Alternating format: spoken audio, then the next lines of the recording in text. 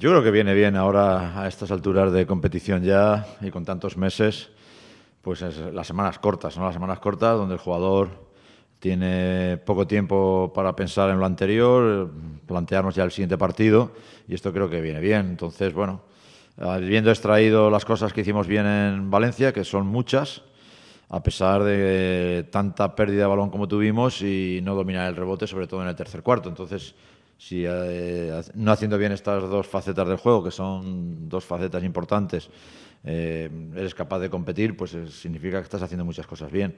Tenemos que seguir en esa línea. Desde ese momento que analizamos Valencia, nos empezamos a, empezamos a pensar en Fuenlabrada. Y bueno, es un partido muy importante, evidentemente. Nadie lo va a descubrir ahora, la importancia que tiene este partido pero no deja de ser baloncesto y tenemos que nosotros como profesionales pensar y estar concentrados en las cosas que tenemos que hacer bien, repito, como estas anteriores que en Valencia pues no las hicimos. No, Luke se recuperó rápido, un virus estomacal, le impidió estar en el partido porque fue justo esa mediodía cuando se encontró mal. Pero no, estamos eh, bien, estamos todos. Eh, creo que no haya ningún contratiempo de aquí al partido y eh, estaremos dispuestos para afrontar ese partido que, vuelvo a repetir, es de muchísima importancia, pero no deja de ser un partido de baloncesto que tenemos que estar concentrados en hacer las cosas bien. Sí, no, vienen mucho más animados, evidentemente. Si tú vienes de perder, perder, perder, siempre, como nos pasa a nosotros, reseteas, eh, estás con el espíritu eh, alto para la próxima, pero cuando te van mal las cosas, pues no tienes la confianza. Ahora mismo eh, Fuenlabrada viene de ratificar el trabajo que están haciendo, de las nuevas, eh, la nueva línea que van siguiendo a nivel de juego les ha dado resultado y por tanto es un equipo rearmado anímicamente para afrontar este partido, está claro. Bueno, tenemos que ser más constantes en nuestras cosas, ¿no?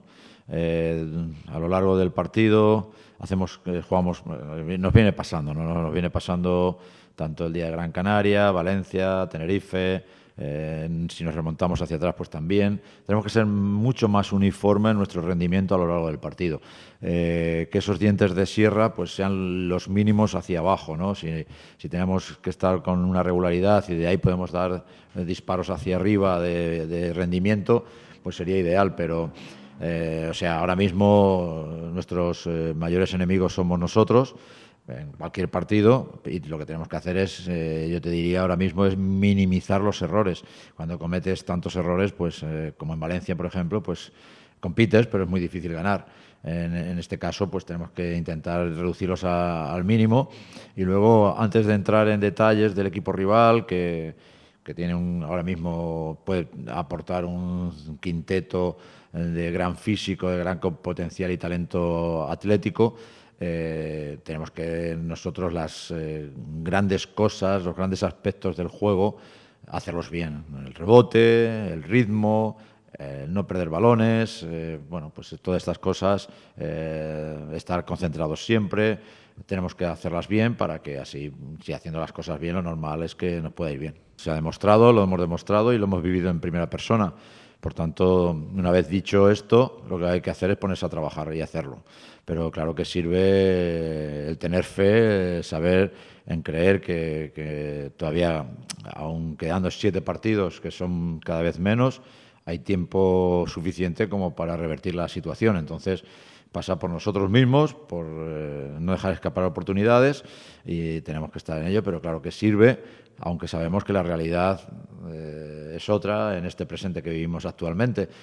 Pero, pero tenemos que creer y eso pasa por, vuelvo a repetir, cada partido es una oportunidad y luego en cada partido, independientemente del rival que sea, de la ciudad donde juguemos, tenemos que estar sabiendo que haciendo el trabajo bien lo podemos sacar adelante. Pues que los necesitamos mucho, y los necesitamos siempre contra, en un partido que todo el mundo sabe la importancia que tiene pues mucho más. Siempre, siempre hemos dicho ¿no? que esa motivación extra que te da el jugar en casa pues es fundamental. Entonces, ojalá y pueda venir mucha más gente.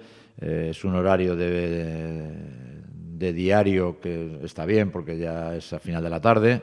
Bueno, nos gustaría que, el pabellón presentase una muy buena entrada y que estuviese volcado con el equipo porque el partido va a ser largo, o sea que habrá que trabajarlo, habrá que irle poco a poco amasando, entonces necesitamos de su ayuda seguro.